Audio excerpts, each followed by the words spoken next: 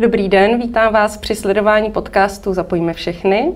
Dneska si budeme povídat o tom, jak zvládnout ve škole stres, který je spojený s příchodem většího počtu ukrajinských dětí, které můžeme jistě eh, čekat v nejbližší době. Je to situace náročná nejen pro ty děti, ale i pro českou veřejnost, pro naše dospělé občany, eh, zejména ve školách se toto téma v současné chvíli hodně probírá, řeší. A kantor by měl být eh, dětem oporou. A my si budeme povídat o tom, jak docílit toho, aby kantor tou oporou dětem opravdu byl. Vítám zde svého hosta, Kristýnu Farkašovou. Dobrý den. Dobrý den. Kristýna Farkašová je lektorka, terapeutka a krizová interventka.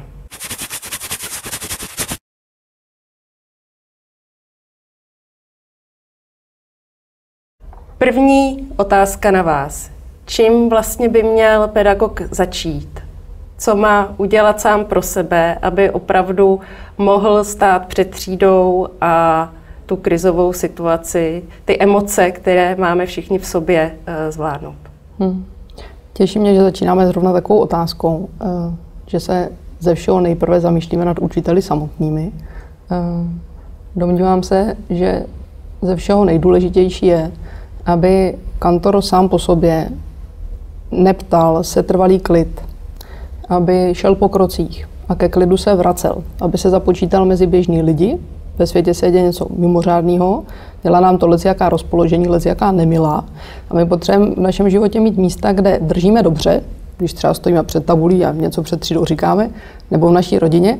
A pak si potřebujeme vědomě vytvářet koridory také pro místa, kdy dobře nedržíme, kdy je nám všelijak, kdy nám není moc příjemně, kdy nemáme příjemnou náladu, kdy eh, se cítíme třeba nejistý. A takový místa bychom si v takovéto doby vědomě měli tvořit a ke klidu se navracet. Jak konkrétně to udělat? Například eh, máte nějakou techniku, radu, jak eh, se sebou pracovat třeba konkrétně v té třídě? Hmm.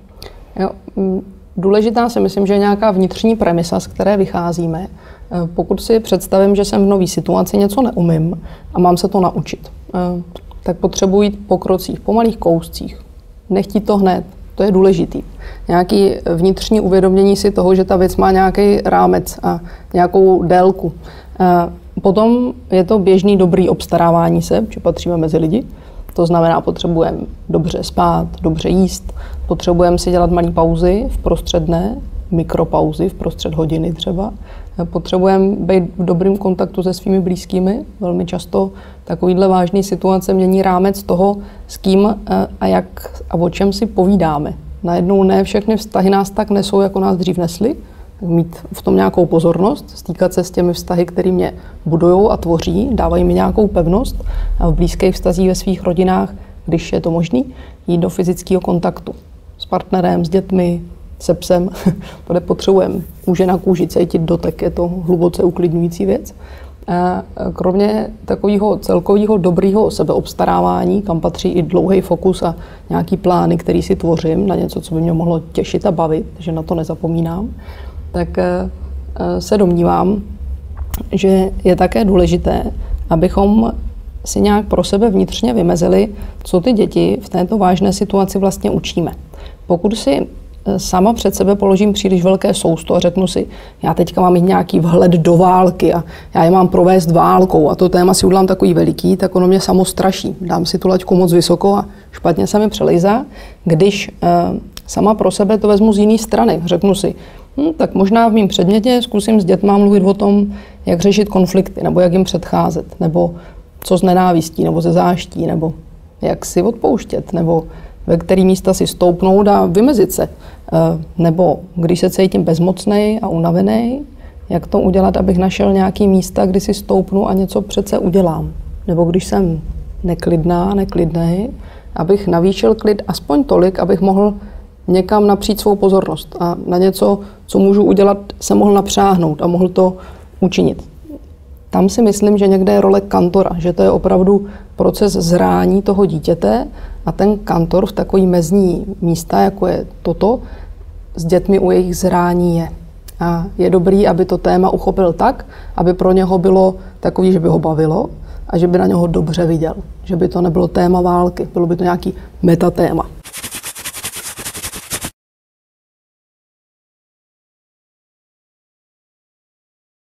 Měla byste radu na, eh, na sklidnění. Když opravdu jsme v té třídě, teď tam proběhne nějaká uh, třeba nepříjemná debata, kterou mm-hmm. ten učitel musí usměrnit a třeba mm-hmm. i on má v sobě ty emoce, mm-hmm. tak nějakou techniku, jak si, jak si udělat tu mikropauzu. Vy jste mluvila o nějakých mikropauzách, tak uh, jak na tohle? Na můj slovník jsou to dvě různé věci, ale klidně to můžeme zavzít. Mikropauza je myšlenka, kde já si řeknu, dnešní den si udělám zvláštní, já učím sedm hodin dneska a v prostřed každý hodiny já si udělám takovou mikropauzu. já se protáhnu nebo půjdu se kouknout z okna nebo na sebe odevřu čistý vzduch nebo udělám si takovou malou pauzu. A můj den tím bude trochu jiný. Já úplně v každé hodině jsem si na sebe vzpomněla a protože procházím specificky náročnou dobou, jsem si dopřála nějakou pozornost pro sebe, udělala jsem si malou pauzu. A takové malé pauzy nás můžou nést i těžkými dny, protože vejdeme do dobrého kontaktu sami se sebou a to je důležité, abychom svoji sílu navyšovali. Kdežto to místo, kdy eh, mě samotnou zalije emoce, se zlobím v tu chvíli nebo fakt se bojím, něco se mi stane, tak velmi často eh, naše tělo něco s náma udělá. Vyplaví se hormony, eh, my cítíme ve svalech jiný typ napětí to moudrý, co je a co si potřebuji z pravidla vychodit, co obvykle v České republice v naší společnosti neumíme, ale je to věc, která se dá naučit, je, že můžu jít se podívat k sobě do těla, jak mi tam je, udělat malinký, malinký mikroopečování toho těla dřív, než promluvím. To znamená, dítě mě vytočí. Mi najedou všechny ty hormony, tělo mi něco udělá. Chtělo by se mi něco říct, co by nebylo úplně zdařilý. Já si vezmu malou pauzu, jdu do těla, stoupnu si líp na obě nohy, zapřu se nohama, srovnám se, víc vydechnu.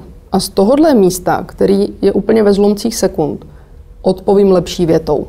Protože já jsem dovolila, aby to napětí v mém těle, který mě přemáhá v tu chvíli, malinko spadlo a až z toho místa mluvím. Podobným způsobem je za mě i místo, kdy máme třeba úzkost nebo strach.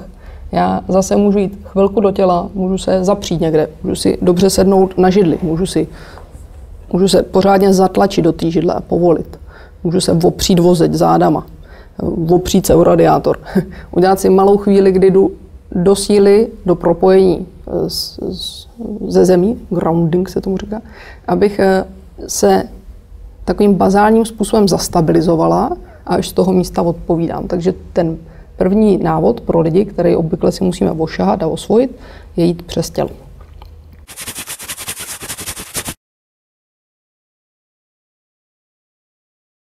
Myslíte, že má smysl třeba i tyhle ty techniky, nebo mluvit o tom sklidnění s těma dětma? Myslím, že je úplně báječný, když na to děti vidějí.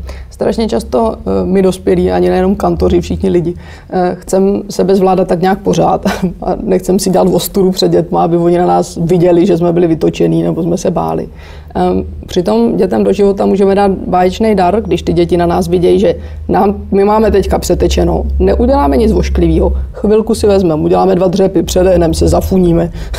Něco jsme udělali, zvládli jsme sebe, po nikomu jsme nevěli, na nikoho jsme nekřičeli, už umíme odpovědět z většího klidu. A to dítě přirozeně zabírá repertoár do svého života, jak jednou ono samo bude reagovat v takový místa. A my mu to ukazujeme přímo před očima, to je velmi dobrý. To je, v tom bych chtěla povzbudit kantory, aby se nebáli toho, že v těch místech na ně je vidět.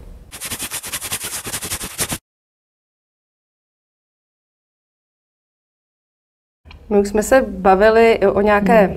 Prevenci, mm-hmm. co, co dělat, jak se sklidnit, mm. dát si, dělat si ty mikropauzy, mm-hmm. něco si Eh, něco si naplánovat. Hmm. Může kantor ještě něco pro sebe udělat, třeba doporučila byste nějaký eh, sdílení nebo třeba i se obrátit nějak, na nějakého psychologa? Je to je to mm. věc, kterou byste doporučila? Jako první bazální bych položila opravdu před oči ten celodenní režim, který ten kantor drží. A jestli se tam někde vejde i kousek samoty, kousek klidu, kousek toho, aby držet nemusel. V momentě, kdy ten kantor nic takového ve svých dnech nemá a pořád drží, tak se furt šponuje. A když situace venku je těžká, tak on pořád najíždí nahoru a nahoru. A tam se mu může stát, že potom někam spadne.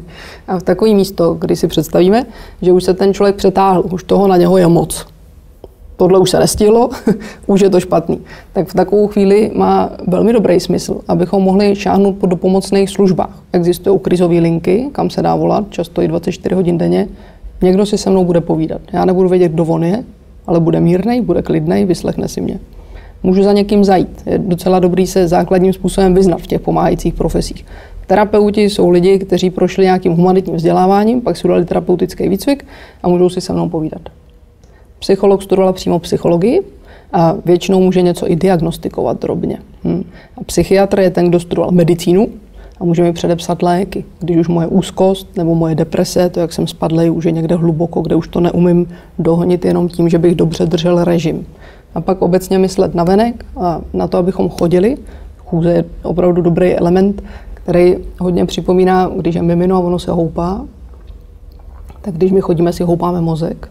Je to hodně podobný proces a právě proto často máme rádi procházky, nejenom proto, že třeba něco hezkého vidíme, ale taky proto, že je to konejšivé pro jako náš vnitřní pocit. Takže takovýhle obyčejný fyziologické věci velmi často udělají velmi dobrý jako efekt do života. Když bych mohla 30 minut ráno se jít projít na sluníčko, tak se nasytím eh, světlem, ono mi nahodí hormony lépe, než kdybych ho neviděla, přirozené denní. Pohoupám se, protože chodím a budu mít sílu o něco lepší, protože jsem chvíli byla sama. A na startu toho dne jsem něco pro sebe udělala. Myslím si, že je to doba, kdy je potřeba na sebe nezapomínat.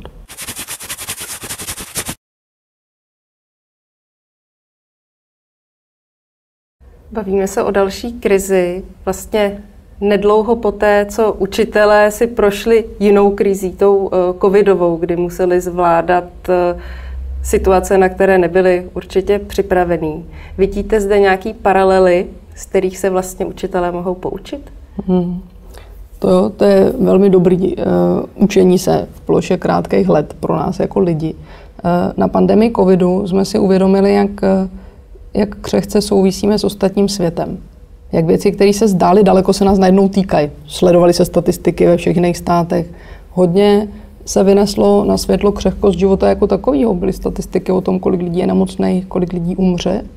A tak na jednu stranu jsme uh, si víc všimli, že patříme do celku a že nám celek nemůže být lhostejný. A na druhou stranu v něčem jsme skřehli, jsme takový ostražitý. Říkáme si kruci, kruci, z toho bych mohl být průsery u nás. Tak uh, to, to je jedna taková linka, která je teďka hodně, bych řekla, znát v celém tom vzedmutí, teďka, co můžeme vidět v českém národě v dopomoci. A uh, pak to, co z covidu právě známe, tak jako si můžeme říct, že o covidu je dobrý si nečíst víc než 15-20 minut denně, či víc nepotřebujeme, abychom se zorientovali, jestli čísla jdou nahoru nebo dolů.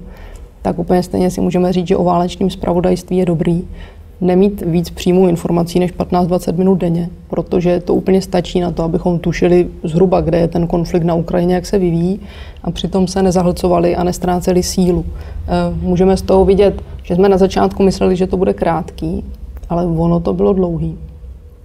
Teďka na začátku, kdy vidíme tu horkou do pomoc, taky si mnoho lidí myslí, že to je teď honem se něco musí udělat, že to možná bude krátký a ono to možná bude dlouhý, tam to vědomí té linky. A pak do pomoc lidí navzájem. Mně se zdá, že i za pandemie covidu kantoři více se naučili mezi sebou spolupracovat a taky dokázali věci, o kterých by netušili, že je můžou dokázat. Naučit se v onlineu učit je docela jiná disciplína, než učit děti před tabulí a tak s tím vědomím, že v posledních dvou letech jsem se něco nového dokázal naučit, ačkoliv jsem to nevítal, nechtěl a přece jsem to dokázal. Taky teďka asi budou věci, které se bude muset naučit. Zatím je neumíme ale zdá se, že můžeme dokázat se naučit nové věci i v učení dětí.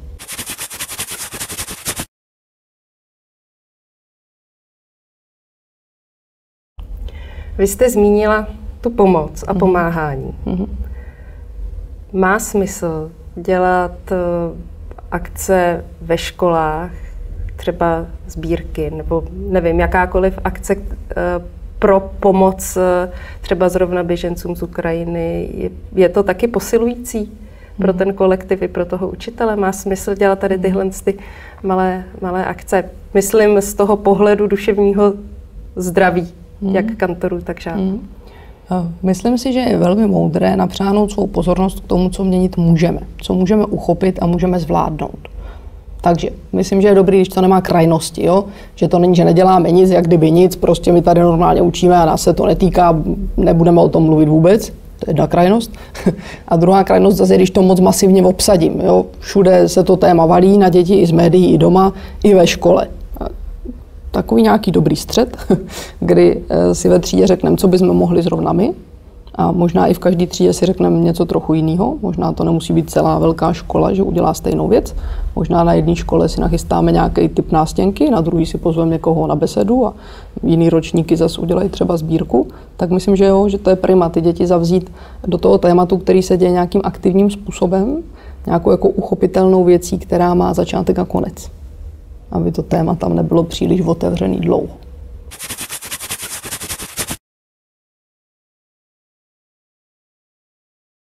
V případě, že ta situace už je hodně náročná pro učitele a on cítí, že se nezvládá, že už to přerostlo nějakou míru, co byste mu doporučila?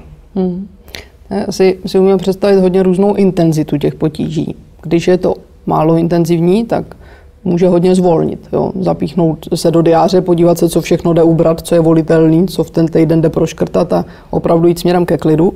Když si představíme, že ta intenzita je velká těch potíží, to znamená, procházím hlavním vchodem školy a dělá se mi fyzicky zle, chce se mi zvracet, jo. klepou se mi ruce, nemůžu jíst. V noci se mi nedá spát, úplně jsem z toho takový vyděkaný, nejde mi to, nejde mi povolit, nejde mi. Ehm, tak zapředně je dobrý, aby to někdo o mě věděl. Někdo můj klidně, nemusí být nutně školní. Partner nebo sestřenice, kamarádka, aby někdo mě v tom mohl trochu doprovodit a malinko věděl, jestli se to zlepšuje nebo se to zhoršuje. Že to je důležitý v ty místa. A pokud se to zhoršuje a ta věc se prohlubuje a můj typ úzkosti nebo deprese nebo nějakého jiného výrazného projevu stoupá tak moc, že mi zavazí úplně v mých běžných dnech. Zavazí mi, když chci učit, zavazí mi, když chci jíst, zavazí mi, když chci spát, zavazí mi, když jsem s mojima dětma, pak je potřeba s tím něco dělat. Je to obor, který umí pomoct s těmito eh, potížemi a je dobrý do něho vlíct, nebát se ho. Je mnoho variant, jakým způsobem si můžu říct o pomoc. Ať, jak jsme si říkali, je to terapeut, který si se mnou popovídá, krizový intervent, krizová linka, dá mi nějaký první návod. A, a nakonec i psychiatr, který v české společnosti má pořád ještě takovou strašidelnou nálepku, že tam chodí už úplní magoři. a zároveň když se někam propadáme v tématu duševních potíží, tak na tom začátku toho propadu strašně snadno se tam jde vyškrábat. To je jako, že jsme spadli jenom kousek. A když to necháme hodně sjet, hodně sjet, že já vím, že už půl roku fakt nejsem dobrá, nejdu nikam, přece by to byla ostuda. A hodně sjedu někam hluboko do jámek, mi strašně špatně s tam škrábe. Takže je velmi dobré na začátku těch potíží s tím jít ven, protože v tu chvíli ještě docela snadno se s tím může hnout a člověk se může vrátit tam, kde tu sílu běžně měl. Děkuju. Přeju pedagogům, aby tu sílu nestráceli. A my se spolu ještě uvidíme a budeme si povídat i o tom, jak eh, přijmout nové žáky, třeba i přicházející z války eh, do třídy.